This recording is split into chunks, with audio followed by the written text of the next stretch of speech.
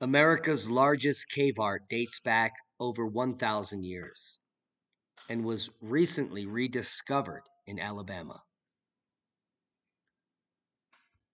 Now, roughly 1,000 years ago, artists working in the light of burning reeds or oil carved figures into the ceiling of a cave in what's now Alabama, crouching in the narrow space below.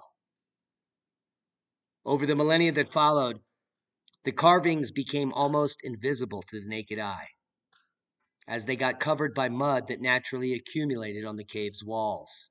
Now, those carvings have been revealed by advanced photography as the largest set of carvings ever found inside a cave in North America.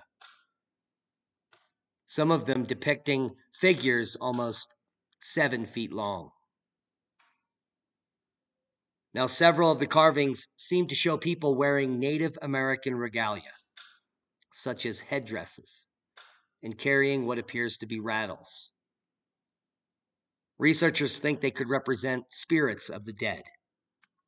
They are either people dressed in regalia to look like spirits, or they are spirits, said archaeologist Jan Simek, a professor of anthropology at the University of Tennessee in Knoxville. And if they were people dressed as spirits, they were for a time considered the spirits themselves. The term we like to use is that they were materializing those spirits through the costumes that they wore, he said. Simek is the lead author of the research paper on the carvings published Tuesday in the Journal of Antiquity. It describes five of the largest figures ever found on a cave ceiling, ever in North America. And they were revealed by photographic study that originally aimed to record the cave's carvings in case they became damaged or invisible. Four of the figures seem to be people wearing regalia, while the fifth is a coiled snake, probably a diamondback. Now, we disagree with this interpretation, but we'll get to that later. The cave in northern Alabama, well, the researchers are keeping its precise location quite secret, is the richest prehistoric cave art site in North America, according to the paper's authors.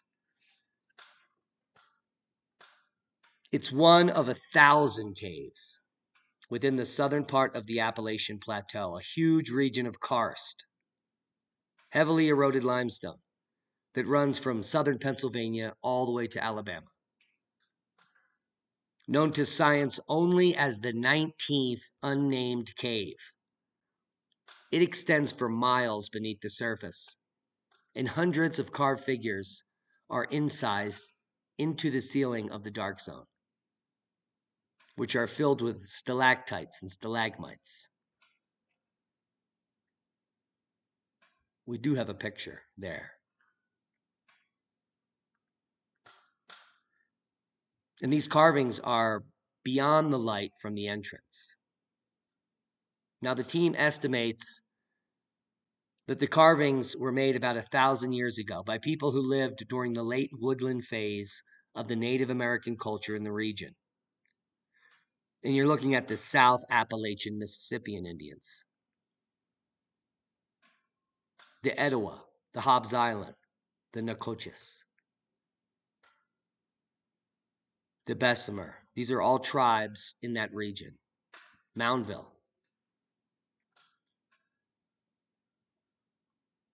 The carvings in the cave are unlike those found above the ground in the region, which usually depict other subjects in different styles often in red paint.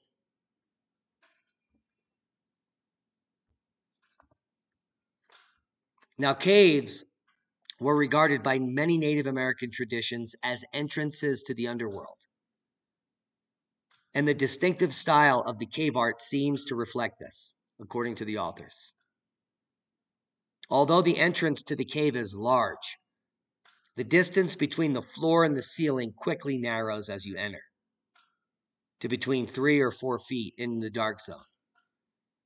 And would it it would have been similar when the carvings were made. That means that the Native American artists could not have seen the entirety of the figures they were carving. Here we see probably 100 feet of the cave ceiling with some of the seven meter figures or seven foot figures pictured. Most of these are two meters in length. So we're looking at probably 50 meters here. And a single human would only span the length of this entire image, so it would be impossible to see what you were carving. Absolutely fascinating. Now, the artist probably burned clusters of reeds to give them light, and the ancient deposits of these reeds are now found throughout the cave. The carvings were cut into the mud veneer of the cave's ceiling, possibly with a stone tool or, or two. And the process of accumulating layers of mud on the surface has continued since they were made. Many of the carvings are now almost invisible. And Simek and his colleagues only discovered them after making precise photographic models of part of the cave's ceiling, a technique known as photogrammetry which combines digital photographs with computerized models of three dimensional space.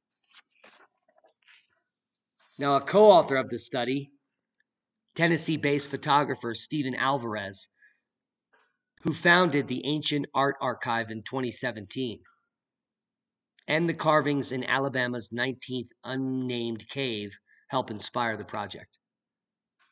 The cave was discovered back in the 90s by Atlanta based caver Alan Cressler, who's another co author of the new paper.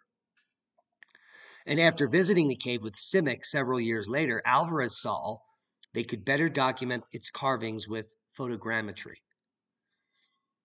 When he tried it out, not only could we see engravings, but there were hundreds, if not thousands more than they had realized. The new study comprises more than 14,000 photographs, yet it covers only a tiny portion of the ceiling. Many more carvings are likely to be found. Now, these are petroglyphs on the ceiling of a dark cave.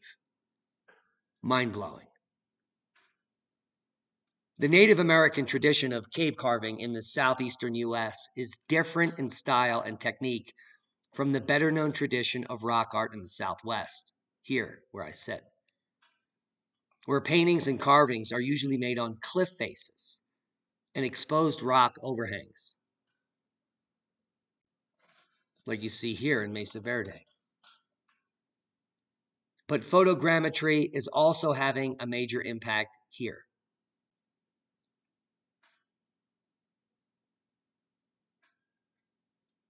A professor of archaeology, Radek Polanak, at the Jagiellonian University in Poland, studied Native American rock art in the Mesa Verde region for several years using this technique. Photogrammetry is one of the best methods to document and reveal new data, especially for rock art images, often barely visible or not visible to the naked eye, he said in an email. Palonka also remarked on the importance of the latest study in documenting the cave carving tradition. This particular study, besides showing the potential of using advanced photographic techniques for the archaeological record and to protect cultural heritage, can also shed some light on the Eastern woodland religious practices. Because the carvings are extremely unique. These petroglyphs on mud on the ceiling of a cave are similar to some I've seen, but they are unique in totality. Do they represent people in costumes? Do they represent similar godlike figures in the Southwest, which we've documented? And these are the Kachina. They certainly look like Kachina to me. But what are the Kachina at the source? Were they plasma phenomena in the night sky witnessed looking towards the north. And then handed down through generations as gods. We're going to go through some of the figures right now. And this is the Rattler Man, depicted as wearing a mask, a full outfit, holding two different rattles. Or is this an early depiction of Squatter Man, where you can only see three appendages? And this clearly is not a humanoid, it's something else. Is it another phase of the plasma instability? Where this is a different depiction of the duck head, visible in the east? And this clearly here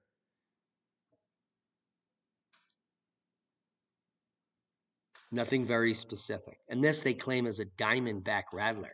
Well, if you look over here at the image, there's more to it than they're showing. So what is what does their interpretation mean? Did they leave something out? This certainly doesn't look like a diamondback rattler to me.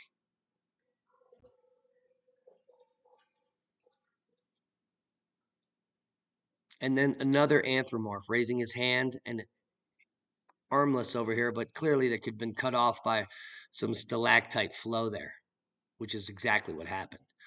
But is this just another depiction of a squatter man in a different phase? Notice the foot turned in here and the other leg has no foot or is dragging something. And this and the side hip basket, or what is that? Will we ever know? What we do know is that using a new photographic technique called photogrammetry, we've been able to reveal the largest seven foot long, some of these glyphs, greater than two meters, petroglyphs on the ceiling of a cave at a scale and size that no human could have actually understood what they were carving. How did they do this? And why? Lying on their backs in this cave, they carved on the ceiling as the rock fell into their eyes. For what purpose? What were they trying to tell us? Because clearly they weren't leaving this message for them. This was for us. And that's a boon to knowledge. Hope you got something out of the video. It seems each and every day another major breakthrough discovery is occurring and we're reporting on it. Subscribe to the channel if you haven't. Share this with like minded people. As we prepare for another mind blowing experience in Ruidoso at Squatterman 2022 in just eight days. Be safe. We love you. That's a boom.